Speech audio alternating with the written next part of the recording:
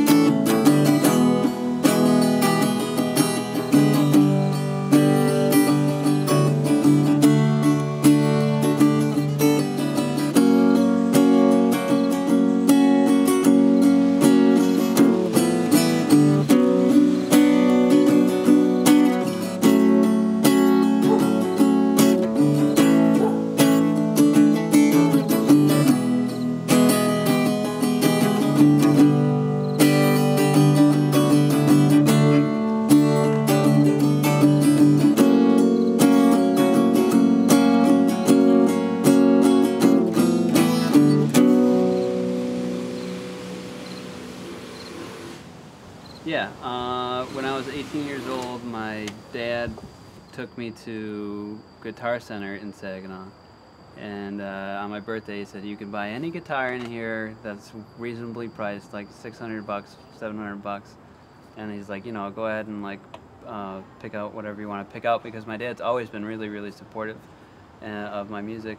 Um, and I picked that little junior Yamaha because uh, it was the cheapest guitar, and I had like uh, such a bad drug addiction at the time that I knew if I got anything more expensive that I'd pawn it off. And so it was only out of the um, necessity of survival, as like you put it, that I got a guitar that I couldn't pawn off. And uh, when we were having lunch earlier, and I left it in the um, restaurant or whatever, like that's uh, uncommon because that is the only thing that I've owned throughout this entire time uh, that I've been using drugs that I've kept, and it goes with me um, to every new residence that I uh, that I move in, and I make sure that that's the first thing that I kind of put in the car, because like I've lived probably 20 some 30 places you know couch surfing and subleasing and uh, transitional housing and you know whatever. And uh, so I'm really proud of that. And I think it's uh, somewhat symbolic that the ownership that I've continued to have of that guitar is really just the ownership that I continue to have of music regardless of the circumstances.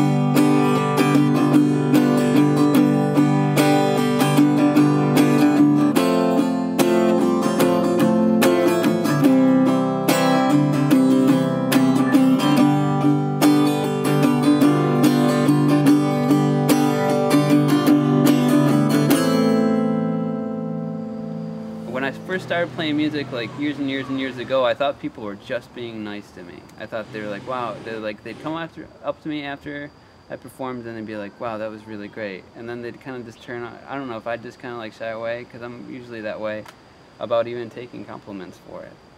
But it happened so frequently since then, and it's been so consistent since then that I started to kind of believe it. But hmm. originally, I never thought it was. You should anything- believe it. Yeah, You yeah. And I do, and not in a cocky way, but I am comfortable um, with believing in myself, and uh, that's for me satisfying enough in terms of this this medium. Yeah. I you you were addicted to opiates for uh, 12 years, and um, I myself just went through a, a pretty rough two-year period. Um, not drugs, but um, mental stuff, and uh, I I think I wonder in in in moments, and I don't know if I'd call them clarity, what was lost because of my sickness. If um, I'm not as sharp as I otherwise would have been. I'm not as intellectually curious. Um, I'm, I'm not, uh, I lost two years of poetic development. And it's really frightening to me that, that I might have numbed myself to the world as a matter of, or uh, in the name of survival, because I was too affected by things. So I had to shut down some of my awareness and some of my I, I don't want to say wonder, but some of my um, curiosity. Do you do you worry about that? Worry about what was lost in, in the 12 years uh, that you were using? No, I give myself a, a fair amount of leniency when it comes to like uh, ad- admitting that I have a have had a serious drug problem that's handicapped my progress.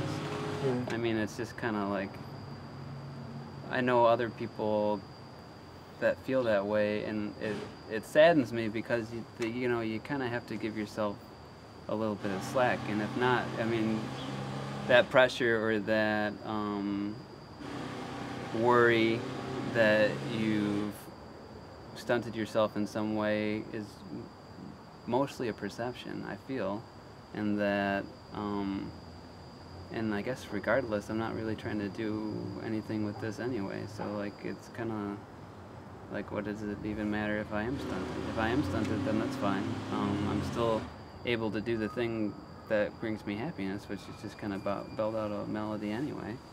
So as long as I, you know, have that about me, but I mean that's that's currently where I'm at in that journey. And years before, yeah, the first time I ever got sober, I was like, well, I can't write music anymore because I wrote all that other shit when I was uh, getting high. Uh, so I guess I'm done writing music unless I want to get high again. But I know that that's kind of getting pretty hairy. Um, but I stuck with it regardless because it brought me happiness, and like I, that's where I gained a lot of my confidence in terms of being a songwriter.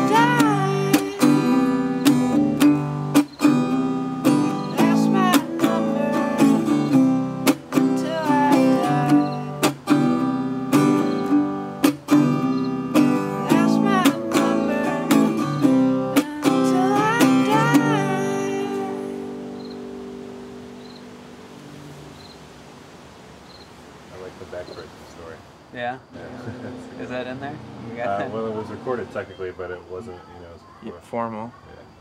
yeah. Yeah. Uh, Cool. my girlfriend originally called me back brace. Or that's like what uh, my name was in her phone, and that's what she called all her uh, to me to all her friends. and people are like, Mike's so confident because I had that fucking like uh, that TLSO or whatever, like the body cast, and so I'm like fucking like this, and they're like, Mike just has something about him where he's so confident, and I'm fucking walking around like a fucking surfboard. So